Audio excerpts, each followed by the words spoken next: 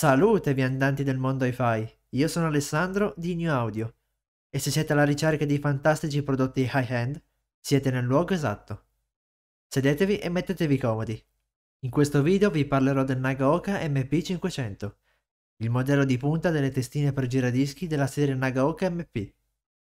Ma prima di cominciare vi invito a lasciare un mi piace e iscrivervi per supportare il canale. Detto ciò, possiamo incominciare.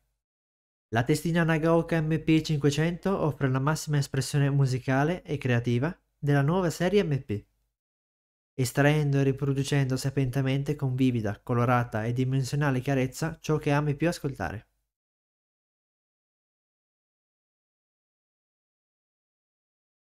Grazie a più di 80 anni di esperienza nel settore, l'azienda nipponica è riuscita a combinare l'esperienza con la tecnologia più moderna, realizzando una testina top di gamma.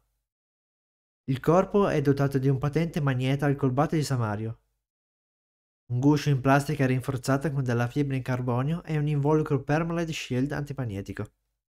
Il cantilever è in boro, un materiale più costoso perché a differenza di quelli in alluminio il boro offre una bassa massa ad alta resistenza. Infine, lo stilo diamantato ha contatto della linea superfine.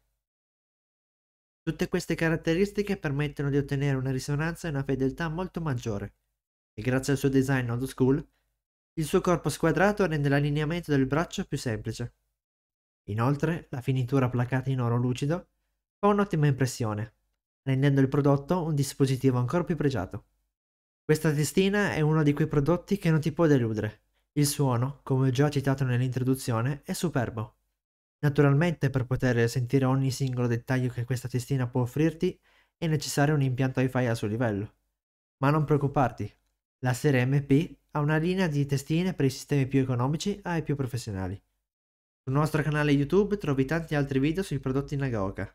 Per maggiori informazioni puoi contattarci o visitare il nostro sito newaudio.it. E con questo è tutto.